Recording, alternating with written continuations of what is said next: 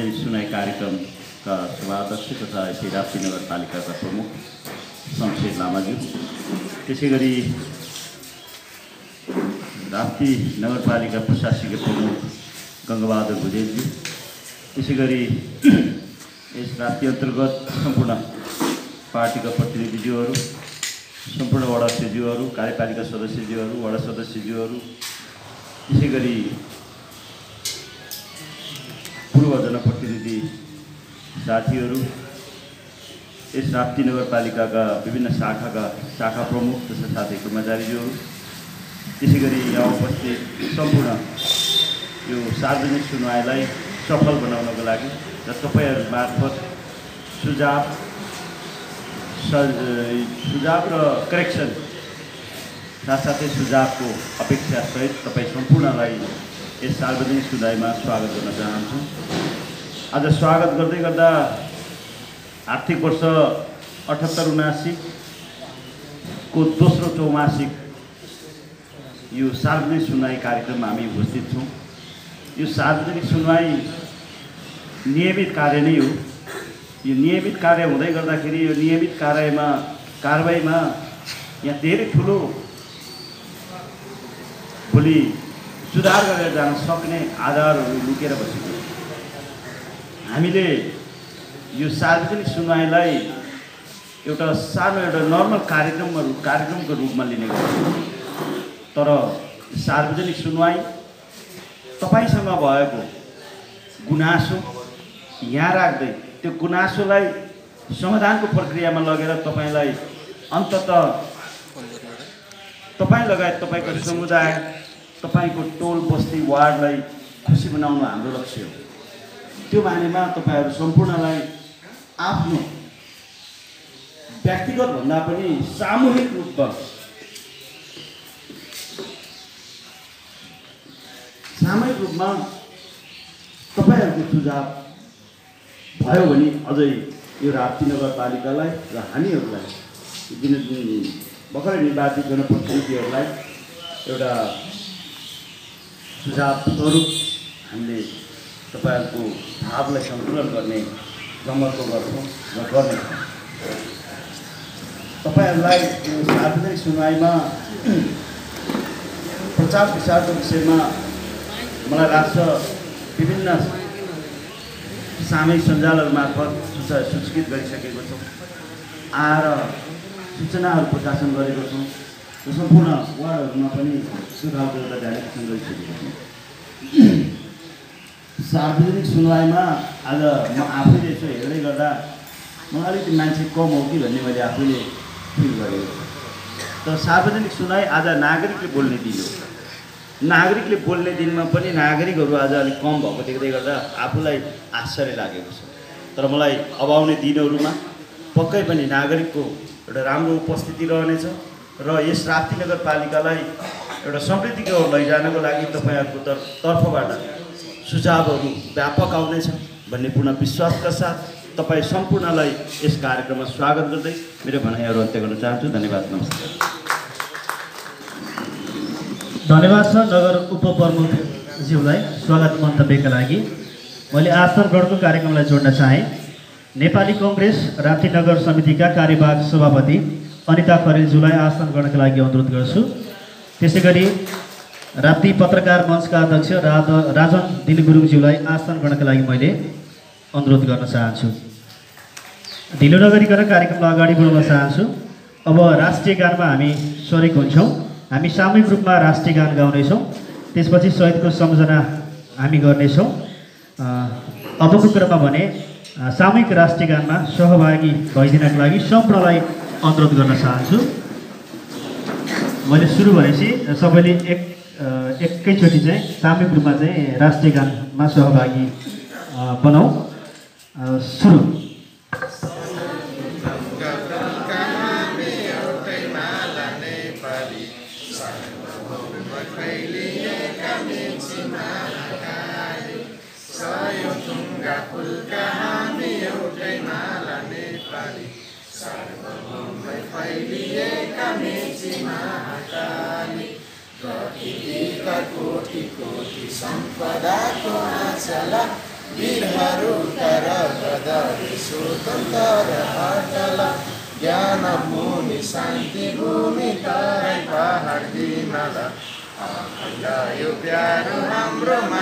को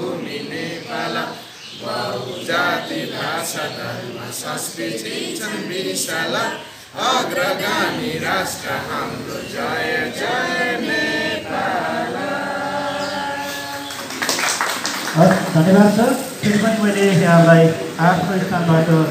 उठेर शहीदहरूको सम्झना गरिदिनको लागि अनुरोध गर्न चाहन्छु आचार्य आचार्यज्यूलाई अगाडि आएर आसन ग्रहण गरिदिनको लागि अनुरोध गर्न चाहन्छु त्यसै गरी वडा नम्बर बाह्रका वडा अध्यक्ष अर्जुन पर्साज्यूलाई पनि अगाडि आएर आसन ग्रहण गरिनका लागि अनुरोध गर्दै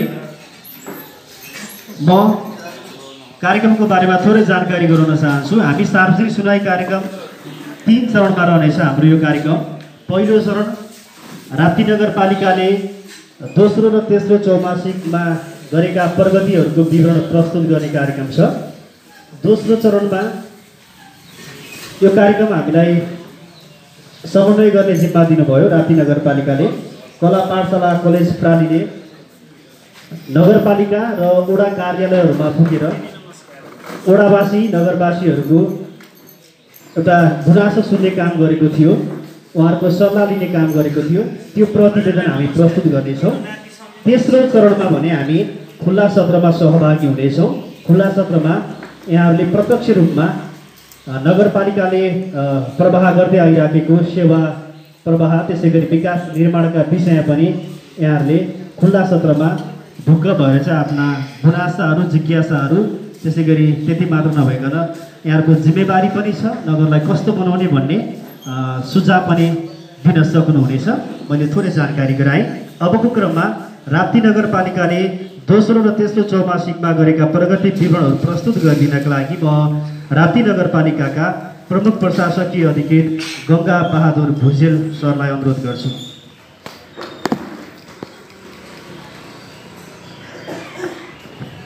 धन्यवाद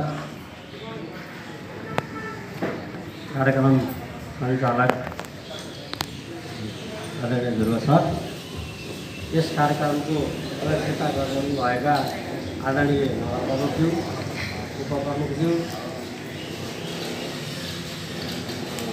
यसमा आसिन विभिन्न राजनीतिक पार्टीका नगर प्रमुख एवं प्रतिनिधिहरू वडा अध्यक्षज्यूहरू कार्यपालिका सदस्यजीवीहरू वडा सदस्यजीवीहरू यहाँ उपस्थित सम्पूर्ण यस आजको कार्यक्रमलाई शोभा शोभायमान बनाउन उपस्थित हुनुभएका रावती नगरपालिकाका दाजुभाइ दिदीबहिनीहरू र यो कार्यक्रमलाई समन्वय गरिरहनुभएका कला पाठशाला कलेज प्रणालीका सम्पूर्ण सदस्यज्यूहरू र यहाँ योभन्दा बाहेकका यो कार्यक्रमलाई समन्वय गर्न अझ यसको चाहिँ यसलाई सञ्चार गर्न यो राप्ती नगर लगायत सबै हाम्रो नेपाल राज्यमा फैलाउन उपस्थित हुनुभएका प्रचार प्रसार गर्न उपस्थित हुनुभएका सम्पूर्ण पत्रकार बन्धुहरू सबैलाई मेरो हार्दिक नमस्कार म अब ढिलो नगरिकन हाम्रो यो वर्षको अन्त पनि भएको हुनाले लगभग लगभग हाम्रो सबै प्रगतिहरू यो वार्षिक प्रगति पनि यहाँ अहिले यहाँहरूको अगाडि हामी सार्वजनिक गर्न सक्षम भएका छौँ त्यस कारण मैले सबै हाम्रो पालिकाले यो दोहोरो तेह्र चौवासी भन्नाले अन्तिम चौवासीको वर्षको अन्तिमसम्मको कार्यक्रमहरू यसमा आउँछ त्यही राष्ट्रको जम्मा बाहेक अरू सबै कुराहरू लगभग यसमा परेको छ तैपनि यसलाई हामी यो साल तमामीमा भएको कारणले र अहिलेको चाहिँ यो दोस्रो चौवासी हामीले चाहिँ बेलामा गर्नुपर्ने तर यो चुनाव लगायतको विभिन्न कारणहरूले गर्दाखेरि हामीले समयमा थोरै दोस्रो चौमासी गर्न सम्प सम्पन्न गरेनौँ अहिले तेह्र मात्रै हुनुपर्नेमा त्यो दोस्रोलाई चाहिँ थप्प्याएर अहिले चाहिँ दुईवटा चौवासीहरूको यो सार्वजनिकरण गर्दैछ हामीहरू यसको लागि म सुना याचना गर्न चाहन्छु र अब म आफ्नो यो हाम्रो राप्ती नगरपालिकाको आर्थिक वर्ष अठहत्तर अठहत्तर उनासीको वार्षिक प्रति यहाँहरूसँग चाहिँ संक्षिप्त रूपमा राख्न चाहन्छु र हाम्रो प्रस्तावित आय एक अरब चार करोड मैले लमसममा मात्रै भनेको छु अब एक अरब चार करोड थियो र वास्तविक चाहिँ एक अरब रुपियाँ यो वर्षमा आइपुग्यो राप्ती नगरपालिकामा वास्तविक आय प्राप्त भयो र ब्याजतर्फ चाहिँ एक अरब चार करोडै जति आए थियो त्यसलाई चाहिँ व्याय गरिन्छ विनियोजित गरिन्छ र त्यसमध्ये चाहिँ जम्मा एक्चुअल खर्च भयो पचासी करोड रुपियाँ पचासी करोड सडसठी लाख रुपियाँ खर्च भयो र त्यो व्याय प्रतिशत चाहिँ खर्चको प्रतिशत एकासी पोइन्ट सात आठ पर्सेन्ट हुन आउँछ र त्यसमा चालुतर्फ थियो वार्षिक बजेट पैँसठी करोड रुपियाँ खर्च भयो त्रिपन्न करोड रुपियाँ त्यस कारण खर्च प्रतिशत बयासी पोइन्ट दुई पच्चिस प्रतिशत भएको छ र तर्फ हाम्रो वार्षिक बजेट उन्चालिस करोड छयासठी लाख रुपियाँ थियो र हाम्रो खर्च चाहिँ बत्तिस करोड सत्र लाख रुपियाँ भएको छ जसको खर्च प्रतिशत एकासी पोइन्ट एक एक पर्सेन्ट चाहिँ हामीले पुँजीगत खर्च गर्न सफल भएका छौँ र हामीले भौतिक प्रगतितर्फ apa tapi lah tapi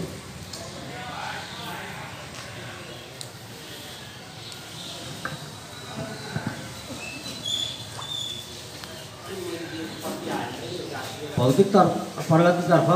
थोरै सबै हाम्रो भौतिक डाटाहरू बाटो कालोपत्रे अनि ग्रालेन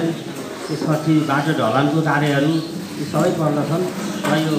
तर अहिले मैले पछि भन्छु मैले पहिलादेखिको कपी मूल कपी यहाँ परेन्छ फोटो कपी हुँदाखेरि अलिकति बिग्रेर आएको छ यसलाई त्यस कारण यहाँ सँगसँगै पराएको छु र पछि चाहिँ त्यो ल्याएर मैले यहाँलाई भन्दैछु र अहिले अब शिक्षा क्षेत्रमा भएको प्रगति नि शुल्क पाठ्य पुस्तक र विवाह खाएको निरन्तरता सङ्घ प्रदेश तहबाट नमुना विद्यालय विकास कार्यक्रम सञ्चालन गरिएको सुत्केरी शिक्षकको सत्तामा सहयोग शिक्षकको व्यवस्था गरिएको छ विद्यालय कर्मचारी र बाल विकास बाल विकास बाल विकास शिक्षकहरूलाई थप तलब व्यवस्थापन गरिएको गणित विज्ञान र अङ्ग्रेजी विषयको लागि निमाग र माध्यमिक तहमा सङ्घ प्रदेशताबाट शिक्षक सहयोग अनुदान प्रदान गरिएको निशुल्क कोचिङ कक्षा सञ्चालन गरिएको क्यालेन्डर र बुलेटिन शिक्षा शाखा प्रकाशन गरेको छ कक्षा तिन र पाँचको उपलब्धि परीक्षा सञ्चालन गरिएको र स्थानीय पाठ्यक्रम निर्माण र कार्यान्वयन गरिएको आवासीय तथा गैर आवासीय छात्रवृत्ति वितरण गरिएको छ आइसिटी विज्ञान प्रयोगशाला र पुस्तकालय स्थापना गरिएको छ भर्ना दरमा वृद्धि भएको छ कक्षा छोड्ने दरमा कमी आएको कक्षागत सिकाइ उपलब्धि स्तरमा वृद्धि भएको छात्रावास व्यवस्थापनमा सुधार भएको स्थानीय तहबाट बाल विकास बाल विकास बाल विकास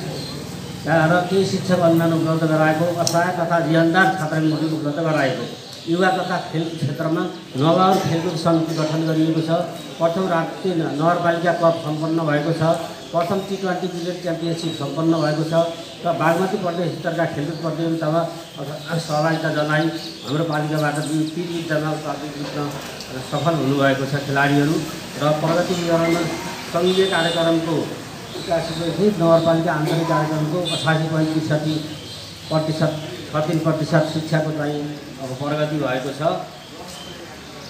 अनि भर्ना दरहरू छ यस्तो कुराहरू अब यी साना साना कुराहरू मैले भन्नु गइनँ यहाँ चाहिँ अहिले चाहिँ विज्ञसँग पनि राख्नु छ धेरै त यो कार्यक्रम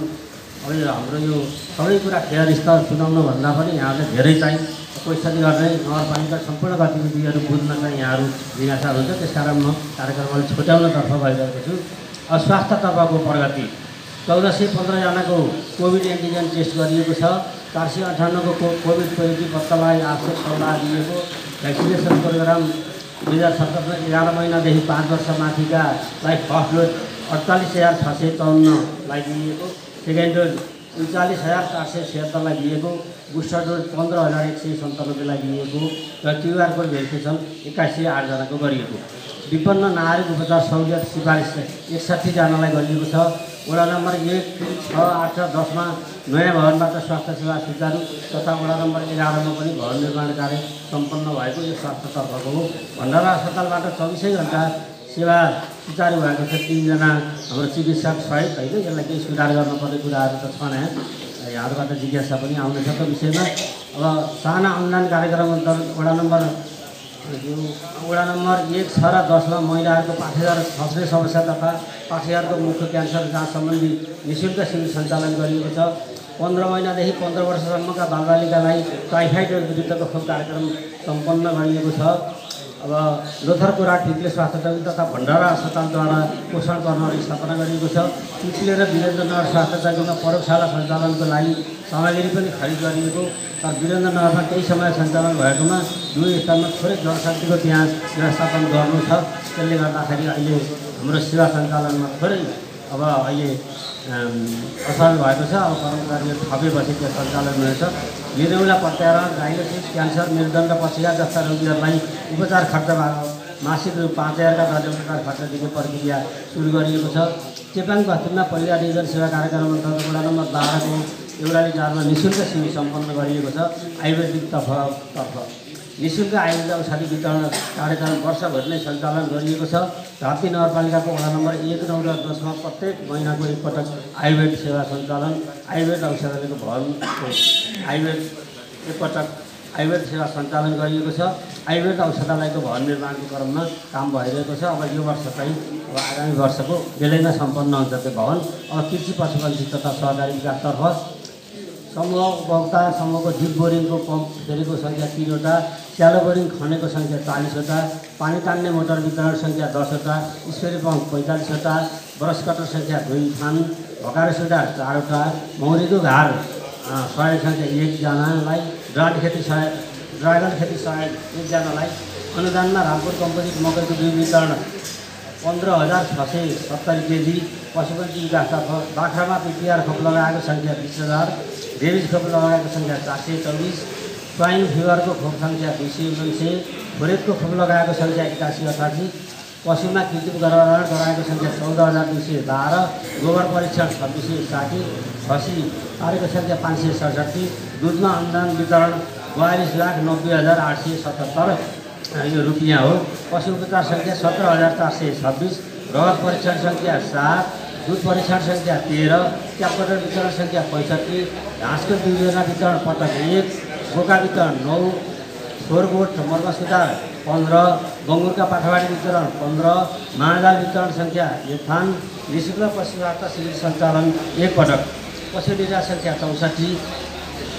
बिमा सिफारिस एक सय बयालिस निकुञ्जमा सिफारिस पैँतिस सहकारी विकासतर्फ अब सहकारी दिवस मनाएको उपमिस मार्फत प्रगति विवरण लिने गरेको सहकारी संस्थाले यसको अनुमोदन गर्ने गरेको संस्था सबै सहकारी संस्थाहरूको निर्वाचन गराएको चाहिँ यो सामान्य छ सहकारीको हाम्रो कृषि पशु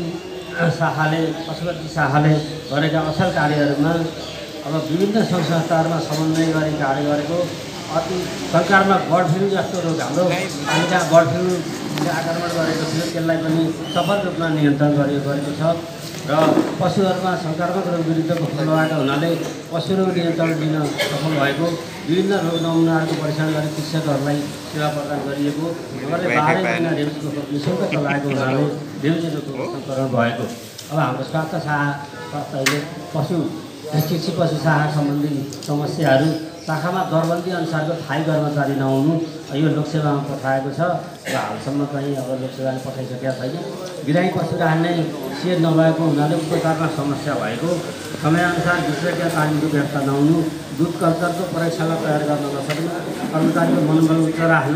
नगर्ने कुनै पनि प्रोत्साहनको व्यवस्था गर्न नसकेको एकवटा वडा एक कृषि तथा सेवा प्रणाली नभएको हुनाले सेवा एजेन्स भए सेवा राईलाई समयमा नै सेवा दिन समस्या भएको अब हाम्रो प्राविधिक विकास तालिमको यो हाम्रो मेडपा भन्नेहरूलाई यो ल नयाँ लघु उद्यम सिर्जनातर्फ अचार बनाउने तालिम सत्ताइसजनालाई दियो आधारको सिलाइ कटाइ सोह्रजनालाई चटपट पानीपुरी सम्बन्धी तालिम सोह्रजनालाई च्याउ खेती सम्बन्धी तालिम पाँचजनालाई लाइट ड्राइभिङ सिप तालिम छजनालाई बाख्रा पालन दसजना म्याट्रिम सुतारी तथा प्यारासुट धागो झोला भन्ने तालिम सातजनालाई जम्मा अठासीजनालाई तालिम प्रदान गरिएको छ अब advance beauty parlour beauty parlour सिप तालिम एघारजनालाई स्पेसल सिलाइ कताई सिप तालिम बाइसजनालाई सपिङ तथा स्कुलको झोला सिलाउने सिप तालिम आठजनालाई भन्दैछ एडभान्स तालिम चाहिँ एकचालिसजनालाई दिएको छ र हाम्रो पालिकामा नयाँ लघु उद्यमी सृजना अब एघारजना यो प्रविधि हस्तान्तरण भन्नाले मेसिन हस्तान्तरण गरिएको छ एघारजनालाई तर्फ पार्न सम्बन्धी सामग्री सोह्रजनालाई गरेर जम्मा सत्ताइसजनालाई प्रविधि हस्तान्तरण गरेको छ र उनीहरूको सिकेको सिक सम्बन्धी सामग्रीहरू वितरण गरिएको छ र लघु उद्यमी र वित्तीय सेवा प्रदायक संस्थाभित्र अन्तर्क्रिया कार्यक्रम अठासीवटा भएको छ र हाम्रो पालिकामा नयाँ उद्यमी सृजना लक्ष्य पचासी थियो सङ्ख्या पचास पचासी त्यसको हन्ड्रेड पर्सेन्टभन्दा बढी अठासीजना चाहिँ अब उत्पादन हुनुभएको छ र यस्तो स्तरण स्तरणतर्फ चालिसजनाको लक्ष्य लिएकोमा एकचालिसजनालाई चाहिँ स्तरोन्नति तालिम प्रदान गरिएको छ र जम्मा लक्ष्य एक सय पचासीजना भएकोमा एक सय उन्तिस एक सय पच्चिसलाई भएकोमा एक सय उन्तिसजनाले चाहिँ अब प्राप्त गर्नुभएको छ लघु उद्यममा आरब्ध सङ्ख्या एकचालिसजना हुनुहुन्छ अहिले त्यो मध्येको व्यवसाय दर्ता भएको ल लघु उद्यमी सङ्ख्या दसजना हुनुहुन्छ यो मेडिकल तालिम लिएपछि दसजनाले चाहिँ व्यवसाय दर्ता गरी लघु उद्यमी लघु उद्यम सञ्चालन गर्नुभएको छ सिप तालिम लिई व्यवसाय सुरु गर्न तयार भएका सम्भावित उद्यमीको सङ्ख्या अठासीजना अब सम्भाव्य गर्न सक्ने चाहिँ अठासीजना हुनुभएको छ अब हात्ती नगरपालिकाको योजनाबद्ध विकासको लागि भएका प्रयासहरू म संक्षेपमा भन्न चाहन्छु अब हामीले हाम्रो पालिकामा प्रदेश सुशासन केन्द्रको सहयोगमा क्षमता विकास योजना बनाइएको छ लैङ्गिक समानता तथा सामाजिक समाजीकरण रणनीति दुई हजार उनासी पनि मन्त्रालयको सहयोगमा बनेको छ नगर गुरु योजना आवाधिक योजना तयार भएको छ अब हामीलाई चाहिँ यो अन्तर्गत रहेर हामीले एमटिए मध्यकालीन खर्च संरचना र हाम्रा वार्षिक योजनाहरूलाई चाहिँ यसलाई जोडेर हेर्न र हाम्रो कार्यक्रम अगाडि बढाउन सहिलो हुने भएको छ र सडक दुर्योजना पनि तयार भएको छ र त्यसको केही कार्यान्वयनमा पनि हामी लगेका छौँ तर त्यहाँ विभिन्न समस्याहरू पनि आइरहेका छन् हाम्रो सडक दुर्योजना अनुसार अब हाम्रो अब अझै जनसमुदायले पनि त्यति चाहिँ नगरवासीहरूले पनि अलिकति अब आफ्नो रूपले चाहिँ अब घर बनाउने होइन त्यस्तो खालको कुरा भएको छ त्यसलाई अलिकति समन्वय गरेर नगर यो यातायात गुरु चाहिँ राम्रोसी हामीले अब सञ्चालन गर्नुपर्ने कार्यान्वयन गर्नुपर्ने अवस्था रहेको छ हामीले एक वर्षमा राप्ती नगरपालिका कति सामानहरू किन्ने कति योजनाहरू सञ्चालन गर्ने भनेर वार्षिक योजनाहरू तयार पारेका छौँ र यो गत सालदेखि नै सुरु भएको हो यसलाई पनि हामीले चाहिँ प्रमुखता दिएका छौँ अब नगरपालिकाले आफ्नो क्षेत्रहरूका स्थानीय सरकारले आफ्नो क्षेत्र क्षेत्रभित्रका विषयहरूमा विभिन्न कानुन नियम नियमावली कार्यविधिहरू बनाउनु पर्ने हुन्छ राप्ती नगर पालिकाले पनि हाल हालसम्म आठवटा ऐन चारवटा नियमावली बयालिसवटा कार्यविधिहरू निर्माण गरी आफ्नो कार्यहरूलाई अगाडि बढाएको छ अब फोहोर मैला व्यवस्थापनतर्फ अब हामीले पहिला रिकिसीमा गरेको जापानी अब कोल्याबसनको कम्पनी यो रिकिसी भन्ने छ त हाम्रो सम्झौता दीर्घकालीन सम्झौता थियो बिस वर्षको इतिहास तर त्यसको पनि काममा चाहिँ त्यति अब के भन्छ त्यसलाई चाहिँ एक्टिभली अब त्यति त्यसले पनि काम नगरेको अवस्था छ र यसलाई थोरै रिभ्यू गर्नुपर्ने अझ यो अहिलेको जमानामा चाहिँ फोहोर मैलालाई नयाँ प्रविधिले अगाडि बढाउनु पर्ने भएको हुनाले हाम्रो तत्कालीन जिल्ला समन्वय समितिको प्रमुखको सहायतामा चारवटा पालिकाहरूभित्र यो बेलायत राज्यतला अनि अर्को चाहिँ जर्मन राजदूतका बिचमा चाहिँ हाम्रो चारवटा पालिकाहरूसँग एउटा सम्झौता भएको छ संयुक्त रूपमा यो फोहोर व्यवस्थापन गर्ने भनेर यो कार्य अहिले सम्झौताको भएको छ भने यसको चाहिँ कार्यक्रमहरू पक्का पनि अगाडि बढ्नेछ र यो यो कार्यक्रम गर्दाखेरि हामीले हामीहरूसँग भएको यो एउटा नम्बर दुईमा भएको जुन हाम्रो अब यो त्यसलाई यो संरचना फोहोर मैला व्यवस्थापन संरचना त्यसलाई ठ्याक्क मलाई लामा आएन त्यसलाई पनि प्रयोग गर्ने गरेर हामीले चाहिँ अब सम्झौता गरेका छौँ हाम्रो त्यो पनि चाहिँ युटिलाइज होस् भनेर चाहिँ हामीले राखेका छौँ कुरा खानेपानी र सरसफाइतर्फ खानेपानी तथा ढल विकास विभागको आर्थिक सहयोगमा राप्ती नदलको खानेपानी सरसफाइ र को परीक्षण गर्ने सेवाको सोको पार्श्वीकरण गर्ने कार्य भएको छ र हाम्रो नगरपालिका हामीले जति कार्यहरूमा अगाडि बढ्छौँ कार्यक्रमहरू गर्छौँ र त्यहाँ समस्या र चुनौतीहरू केही अवश्य नै छन् तिनलाई छोटकरीमा भन्न चाहन्छु यहाँहरूका समस्या प्रस्तुत गर्न अनुमति चाहन्छु अब प्राविधिक इस्टिमेटको हाम्रो यो निर्माण सम्बन्धी भनौँ न यो चाहिँ सिभिल सम्बन्धीका समस्याहरू अब यहाँ धेरै छ प्राविधिक स्रोतको आधारमा योजनागत रकम विनियोजन गरी कार्यवाही बढाउनु पर्नेमा विनियोजित बजेटको आधारमा प्रा प्राविधिक स्थिति गरी कार्य सम्पन्न गर्नु गर्नुपर्दा क्वालिटीमा प्रश्न उठे गरेको भन्नाले यो योजनालाई कति पैसा चाहिन्छ भनेर चाहिँ पहिला योजनाको टोटल खर्च कति लाग्छ त्यो अनुसार बजेट छुट्याउनु पर्नेमा पहिला बजेट छुट्याएर अनि योजना चाहिँ अब को विचार गर्नुपर्ने हुँदाखेरि एस्टिमेट गर्न सक्ने हुँदाखेरि उल्टो भएको छ र क्वालिटी ल्याउन सकिएको छैन भन्ने कुराहरू र भौतिक पूर्वाधार निर्माणका क्रममा क्वालिटी परीक्षणका लागि नगरपालिकामा पर्याप्त ठुलो साधन नभएका कारण गुणस्तर मापन तथा सम्वादित कार्यको निर्णय समस्या भएको यसका लागि साधनहरू इक्विपमेन्टहरू चाहियो भन्ने कुरा हाम्रो प्राइभेट शाहले माग गरेको छ यसलाई हामीले एकदमै व्यवस्था गर्दैछौँ यो सालमा र अन्तिम समयमा योजना तथा कार्यक्रम सम्झौता हुँदैन समयमै सम्झौता भएका योजनाहरू पनि अन्तिम समयमा कार्य सम्पादन हुने हुँदा सीमित जनशक्तिबाट असीमित योजनाहरूको प्रत्यक्ष निगरानीमा सम्पन्न भइसक्यो अनुमानको आधारमा मूल्याङ्कन भुक्तान दिन कठिनाइ भइरहेको अब हाम्रो बानी नै छ लास्ट गरौँला कहिले के हुँदैन मेटेरियल हुँदैन कहिले अब विभिन्न कारणले टाइम छ यत्रो वर्ष छ पछि गरौँला नि भन्ने कुराहरू भए कहिले चाहिँ हामीलाई बजेट पनि थोरै बाहिरबाट आउने बजेटहरू पनि अन्तिम समयमा आइदिने कारणले पनि त्यो ढिलाइ भइरहेको छ र यसलाई अब कसरी अगाडि बढ्न सकिन्छ जहिले गर्दा चाहिँ अब खालि लास्टलाई र विकासलाई अझै पनि हामीले पछाडि छौँ त्यसलाई निर्मूल पार्न पक्कै पनि पर्नेछ पछिल्लो समयमा अत्याधिक मूल्य वृद्धिका कारण निर्माण सामग्रीहरूको बजार मूल्य र नगर गरेर ठुलो भिन्नता हुन आएकोले निर्माण व्यवसाय तथा उपभोक्ता समितिद्वारा कार्य सम्पन्न हुन कठिनाइ भएको अब उपभोक्ता समितिले त ज्यान त्यहाँ काम गर्नुभएको छ किनभने रेट घट्नु पर्दैन त ठेकदारहरूले धेरै रेट घटेर हालेको हुनाले निर्माण सामग्री म यो र हाम्रा बाहिरबाट आएका अलिक ठुल्ठुला बजेटहरूको काम यो वर्ष धेरै कम प्रगति देखिएको छ त्यसो भएर अब हामीलाई अब यो अहिले जस्तो युक्रेन अब अमेरिका अमेरिका रसिया युक्रेन अब आयो केही साल सामाजिक मेयरमा बढ्यो भन्ने छ अब यो अवस्था ठिक भयो भने त्यो सामाजिक मूल्य घट्ला र अहिले चाहिँ सम्बोधन पनि होला यो वर्ष हाम्रो चाहिँ कार्यहरू निर्माण कार्यहरू व्यवस्थित रूपमा अलिक सहज रूपमा अगाडि बढ्ने आशा गरौँ सन्तता प्रतिशत प्राप्त हुने विभिन्न रकमहरू आर्थिक वर्षको अन्तमा मात्र प्राप्त हुँदा कार्यान्वयनमा समस्या देखिएको छ निर्माण कार्यमा ऐतिहासिक नबिग्रिने पदार्थहरू उपलब्ध नहुनु अलिक ढिलो गरेर अहिले पनि लोचर खोला अनि लाग्छ लाग्छमा विभिन्न चरण पार गर्नुपर्ने हुँदा निगुञ्जसँग समन्वय गर्नुपर्ने अब निगुञ्ज राष्ट्रिय निकुञ्ज विभागको स्वीकृति लिनुपर्ने जस्ता कारणहरूले गर्दाखेरि अब हामीलाई चाहिँ नदिने पदार्थहरू उत्खनन पनि ढिलो भयो त्यसले गर्दा पनि हाम्रो चाहिँ निर्माणहरू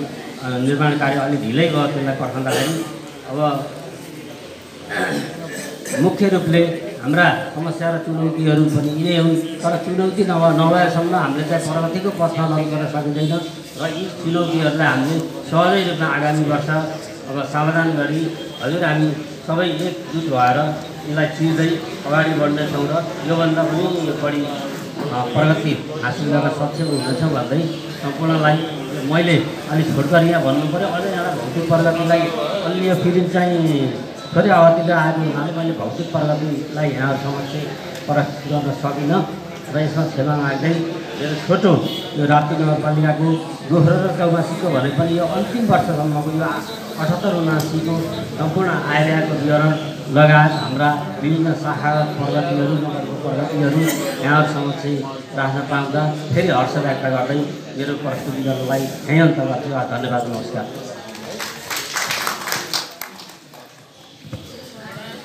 धन्यवाद छ गङ्गा सरलाई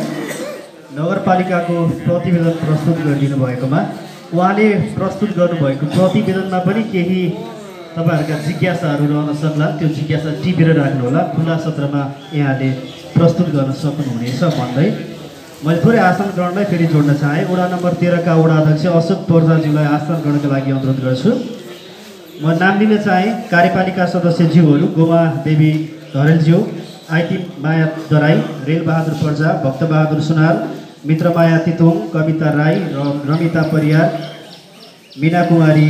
हमालज्यूलाई मैले एकमुष्ट रूपमा आसन गर्नका लागि अनुरोध गर्दै अब हामीलाई दिनुभएको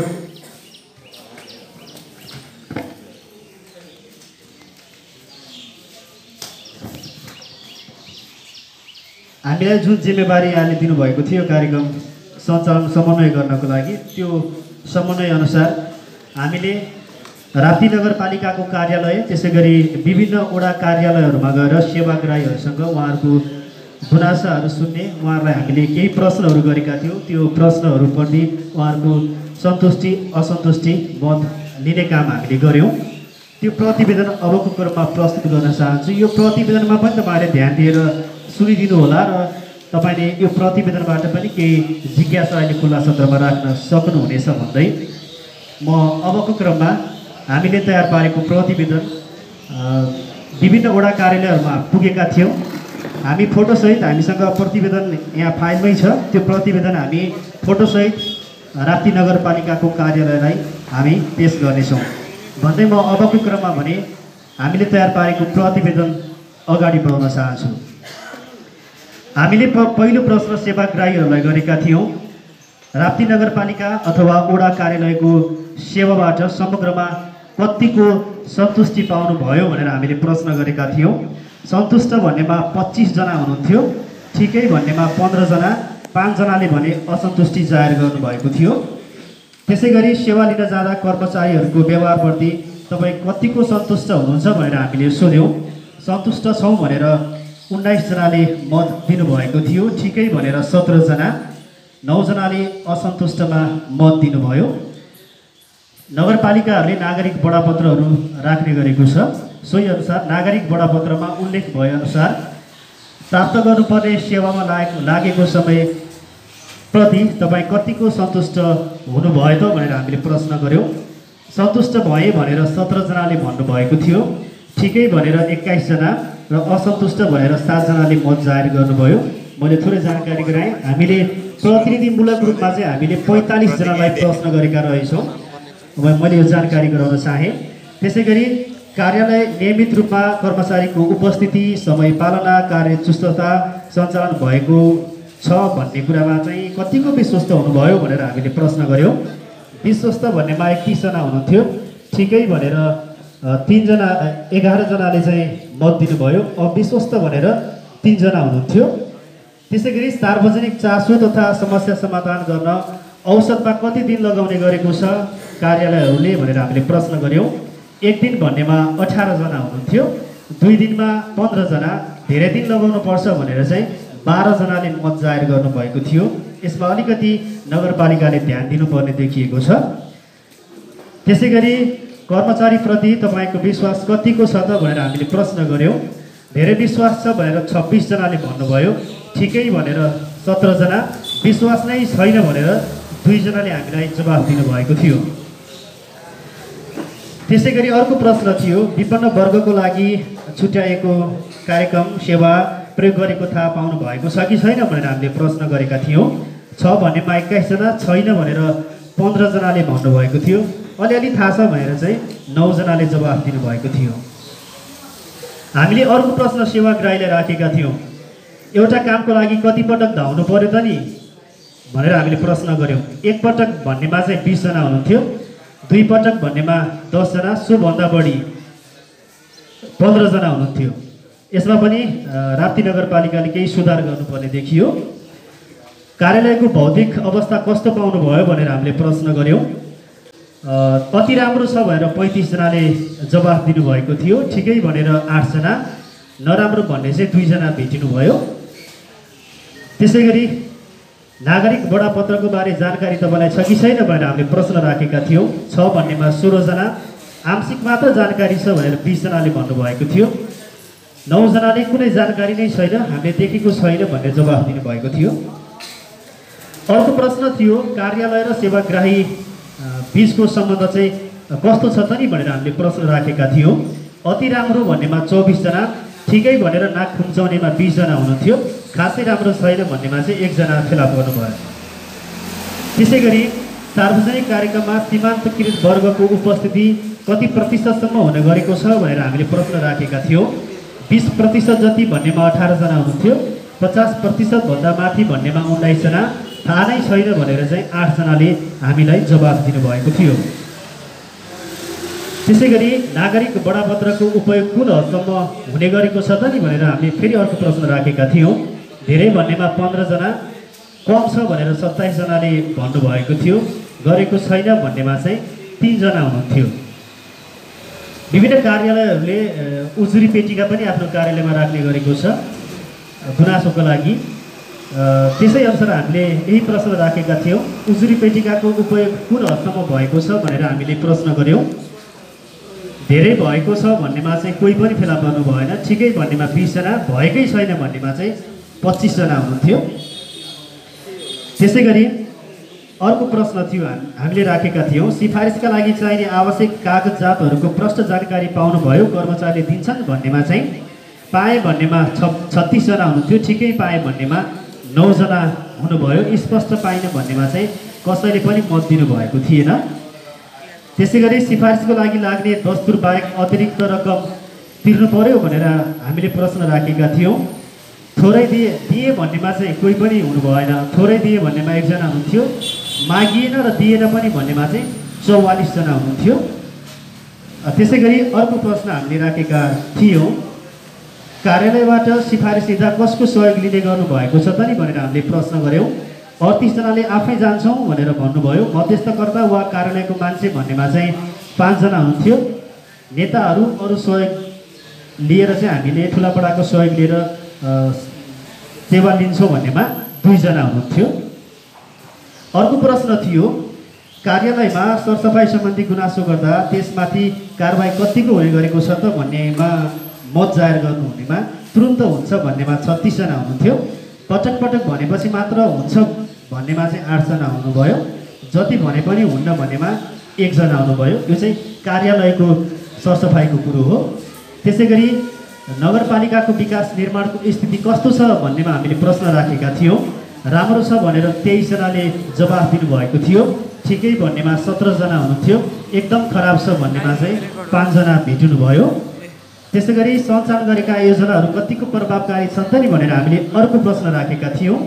प्रभावकारी छन् भन्नेमा चाहिँ तेइसजना ठिकै छन् भन्नेमा